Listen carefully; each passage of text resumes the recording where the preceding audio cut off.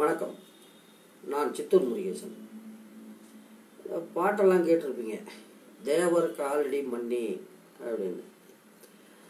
சூனியம் வைக்கிறதுக்கு இந்த காலடி மண் தான் தேவை அப்படின்னு ஒரு பாயிண்ட் இருக்கு. இந்த மகாபாரதத்தில் பார்த்தீங்கன்னா வந்து ஊசி முனை அளவு நிலம் கூட தரமாட்டேன் அப்படின்னு துரியோதனை சொல்லுவாங்க பைபிளில் வந்து ஒரு இது வரும். ஒரு இடத்துக்கு போகிறோம் நம்மளை வந்து அவமானப்படுத்துகிறான் நம்மக்கிட்ட எதையும் ஆட்டையை போட்டான். இல்லை நாம் இருக்கிற இடத்துல இருந்து நம்மளை விரட்டுறான். அந்த சந்தர்ப்பத்தில் நம்ம காலடி மண்ணை அந்த இடத்துலையே உதிர்த்துட்டு வந்துடணும் அப்படின்னு. நான் வந்து பலமுறை சொல்லியிருக்கேன். இப்போ ஒருத்தன் வந்து நமக்கு கெட்டது பண்ணுறான் அவனை நாம் ஏதோ பண்ணலாம். என்ன? பண்ணலாம்.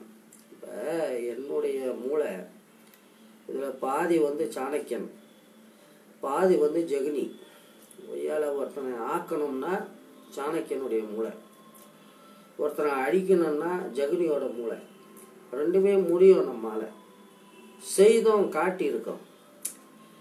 என்னடா மேட்ருன்னா செய்துடுறோம் அதனுடைய விளைவுகள் என்ன?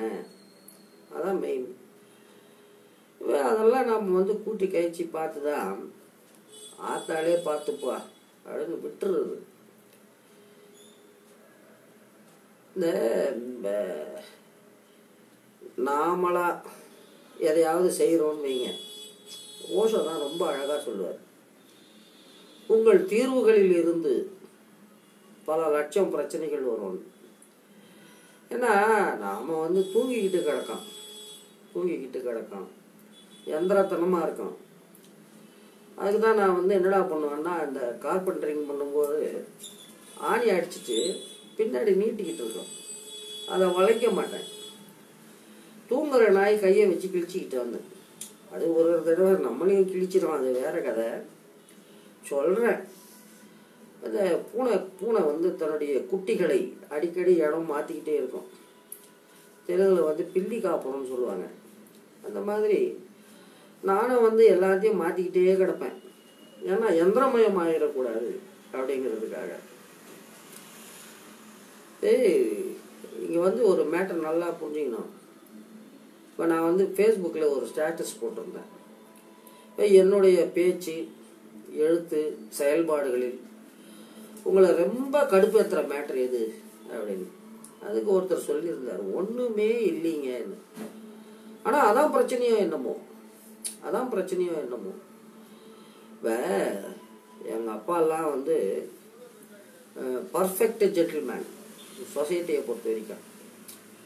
இப்போ வீட்டுக்குள்ள அவருடைய நேர்மை கொள்கை வெங்காயம் இதனால எங்களுக்கு ஏதாச்சும் ஆப்பு வந்திருக்கலாம். அது வேற கதை. ஆனால் சொசைட்டியை பொறுத்த வரைக்கும் பர்ஃபெக்ட் ஜென்டில்மேன் ஆனால் பாவம் அவரை பெற்ற நாலு பிள்ளையும் ரொம்பவே அவதிப்பட்டுட்டான். அது காரணம் என்னடான்னா இந்த உலகத்தில் நூற்றிக்கு தொண்ணூத்தொம்பது பேர் எல்லாம் வந்து ஏதோ பிரச்சனையில் இருக்கான். அது பிரச்சனையோ இல்லையோ? பிரச்சனைன்னு நினச்சி மூஞ்சி வந்து ஒரு ஒன்றரை அடிக்கு தொங்கி போய் கிடக்கான். சிரிக்கிறதுக்கு காசு கேட்பானுங்க பக்கிங்க. அந்த மாதிரி ஒரு சமுதாயத்தில் ஒரு மனுஷன் பர்ஃபெக்டாக இருக்கான்னு வைங்க. என்னடா ஆகணும்னா எல்லாருடைய பார்வையும் அவன் மேலே போய் விழும். ஆ ஒய்யால எத்தனை நாளைக்கு பார்க்கலாம்? எத்தனை நாளைக்கு பார்க்கலாம்? உனக்கு ஒரு பிரச்சனை வராதா?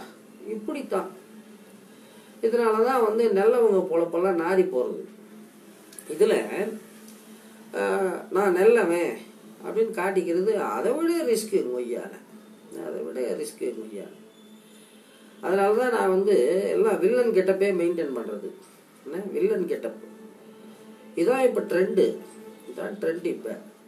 இப்போ நாம் போய் இப்போ எங்கள் அப்பா எங்கள் அப்பா வந்து அவர் எந்த தப்பும் செய்ய மாட்டார் பாவம். ஆனால் எங்க என்ன மாதிரி? அராத்துங்க இருப்போம் இல்லையா? எங்களுக்கு வந்து சஜஷன் கொடுப்பாரு. தண்ணி போடுறியா? தனியாக போய் போடு. குட்டி போட போறியா? நாலு பேரோட போய் போடு.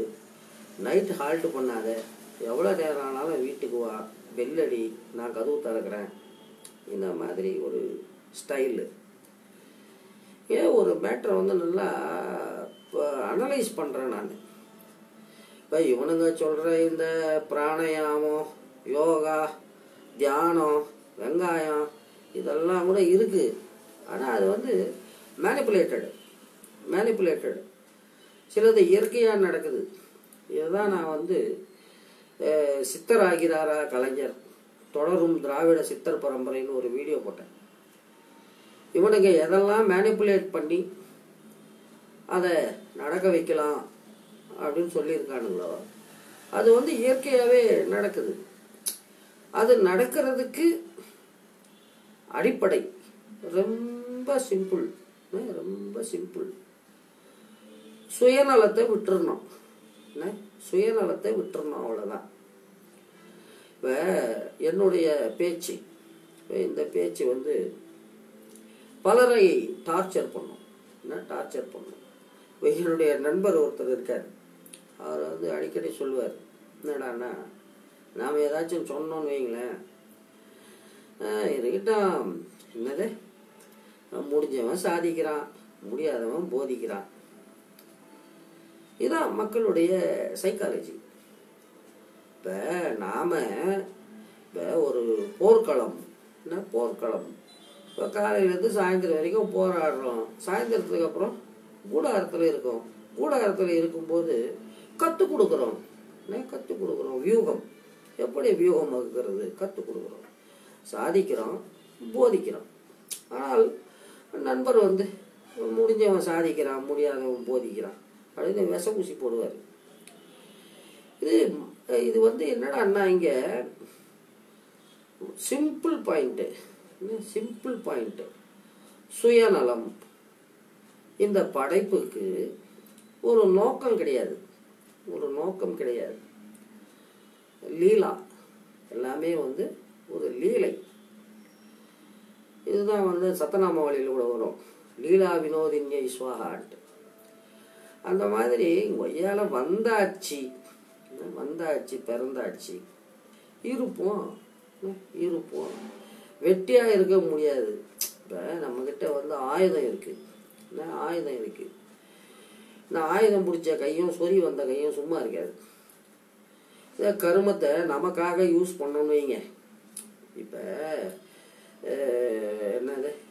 ஏதோ ஒரு ஐநூறு ஆயிரம் வந்து போகுது. இதுக்கே மொத்த எல்லாமே வந்து நாசமாக போகுது. நாசமாக போகுது? இன்னொன்று ஆமாம் ஸ்கெட்சை போட்டு அத்தை போட்டு இத்தை போட்டு லட்சங்க வருதுன்னு வைங்க. எல்லாம் நாசமாக தான் போக போகுது. அவ்வளோதானே இப்போ புதுசாக ஒன்றும் நடக்க போகிறது கிடையாது வாழ்க்கையில். பிச்சைக்காரர் முன்ன கடவுள் வந்துட்டாரான் உனக்கு என்ன வரம் வேணும்னு? உடனே அந்த பக்கி வந்து எனக்கு தங்கத்தாலான கப்பரை வேணும்னு சொல்லிச்சான். அந்த மாதிரி. இப்போ இந்த ஆத்தா சசிகலாலாம் வந்து காந்த படுக்கையெல்லாம் வாங்கலையா? அதே கருமம் தான் அதே கருமம் தான் இப்போ நம்ம ஸ்லம்மில் எக்கா அங்கே சூப்பராக குறி சொல்கிறாங்களாங்க்கா அப்படின்னு பேசின்னு இருப்பாங்க. இவங்க போனால் நூறு இரநூறு செலவு தான் இப்போ ஆயாவும் சசிகலாவும் போனால் லட்சங்க செலவு. ஆனால் பேட்டர்ன் ஒரே பேட்டர்ன் தான். வாழ்ந்தாலும் வீழ்ந்தாலும் ஒரே கர்மம் தான்.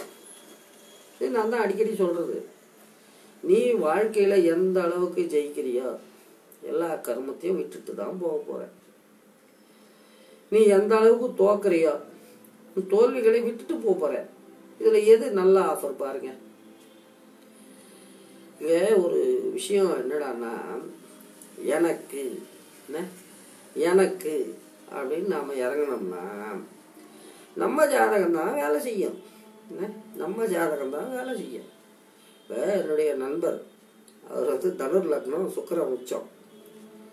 சுக்கரனை எந்த அளவுக்கு எக்ஸ்பிளாய்ட் பண்ணணுமோ அந்த அளவுக்கு எக்ஸ்பிளாய்ட் பண்ணிவிட்டு ராத்திரி பத்து மணிக்கு போவோம் வெளியே. அவர் சரக்கு போட்டு ஹோட்டலை தேடி போயிருப்போம். நாங்கள் போய் வண்டியில் இறங்குவோம் அடுப்பில் தண்ணி ஊற்றுவோம் நாங்கள் போய் அங்கே இறங்குவோம் ஷட்டரை இறக்குவோம். இதுதான் தலையெழுத்து. என்ன இதான் தலையெழுத்து. இது அஞ்சு ரூபா. சித்தூரில் இருந்தாலும் அஞ்சு ரூபா தான். சென்னைக்கு போனாலும் அஞ்சு ரூபா தான். அது அஞ்சு ரூபா வந்து அஞ்சே கால் ரூபா கூட ஆகாது. இதான் ஓஷோ சொல்லுவார். Your life is your cup of tea அவ்வளோதான் இதை நான் கொஞ்சம் சுற்றி வலிச்சு சொல்கிறேன் அது புரிஞ்சிக்க மாட்டேங்கிறாங்க ஜனங்க. நாசமுத்து போட்டோம் இப்போ என்னுடைய பாயிண்ட் வந்து ரொம்ப சிம்பிள் ரொம்ப சிம்பிள் எனக்கு நான் உபதேசித்து கொண்ட விஷயங்களை எனக்கு ஊசான மேட்ரு அதைத்தான் வந்து இங்கே சொல்கிறேனே தவிர இதெல்லாம் வந்து எனக்கு நானே சொல்லிக்கிறது.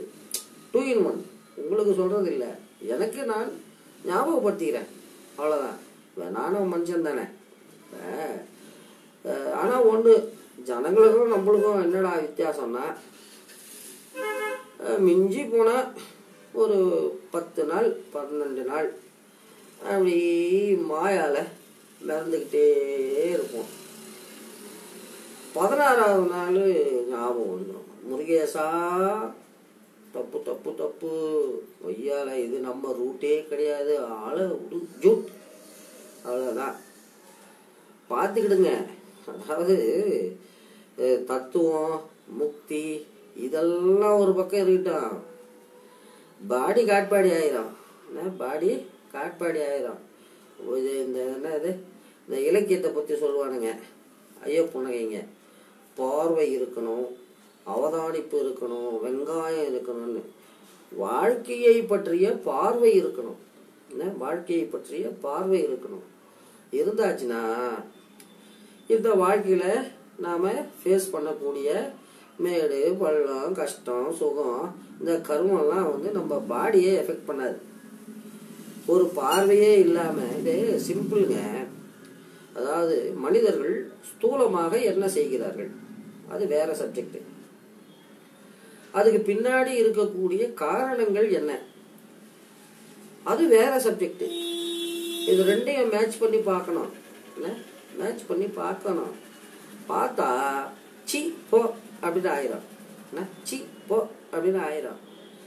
இது இந்த அதாவது வந்து ஒரு நபருக்கு ஜோதிடர் சொல்லக்கூடிய பலன் அப்படியே நடக்குதுன்னா அந்த மனிதன் வந்து ஒரு எந்திரமயமான வாழ்க்கையை வாழ்ந்துக்கிட்டு இருக்கான்னு அர்த்தம். அது எவ்வளோ கேவலம் பாருங்க. சரி இன்னொரு சந்தர்ப்பத்தில் டீட்டெயிலாக போவோம். நன்றி வணக்கம். சித்தூரிலிருந்து முருகேசன்.